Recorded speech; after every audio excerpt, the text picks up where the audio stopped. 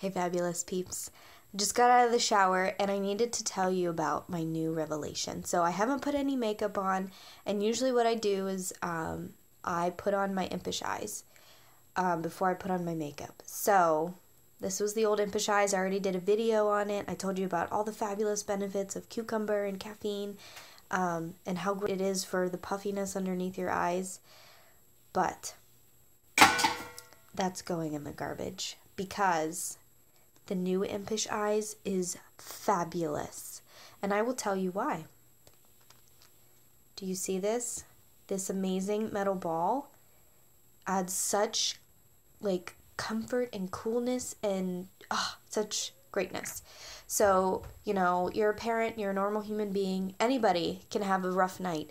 So, picture yourself waking up in the morning and oh, you're just dragging the bags or just take out this impish eyes and put it underneath your eyes.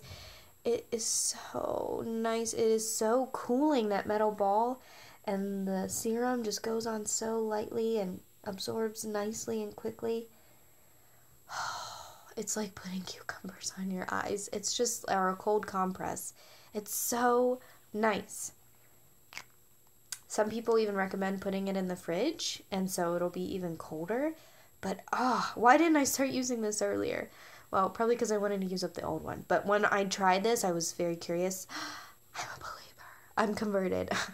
um, but the other thing I wanted to tell you about is I did research on one of the key ingredients, which is COQ10. What is that, right? So, actually, it's something that your body naturally produces and it helps with collagen and elastin production and just cell rejuvenation. And so, actually, I read that women 30 years and older like greatly lose the COQ10. So that means you don't have enough uh, as much collagen and elastin, and so your skin starts to sag and droop. So I don't know if you noticed when I put it on, I even put it on the side of my eye to help with you know growing uh, crow's feet because I like I mentioned before, I'll be 30 next year, so it's coming. Um, so the COQ10 actually will help. You put that on, and it'll help with the collagen and elastin production, which is really amazing, right?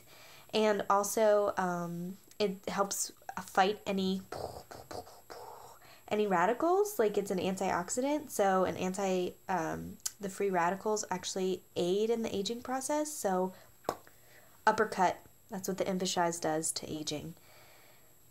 I highly recommend this fabulousness, even just for the metal roller ball. It's great, but it's also chock full of amazing ingredients, so it's definitely good to have in your arsenal.